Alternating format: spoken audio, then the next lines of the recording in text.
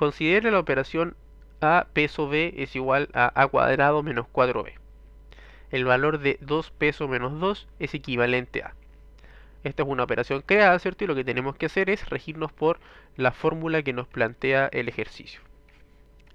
¿Qué dice el ejercicio? Dice que tenemos que elevar el primero al cuadrado, o sea, 2 al cuadrado. Y después restar la multiplicación de 4 por el segundo, o sea, 4 por el segundo, que en este caso es menos 2. Simplemente reemplazar en la fórmula. 2 al cuadrado es 4, menos 4 por menos 2, más 8. Resultado final, 12. Respuesta correcta, alternativa E.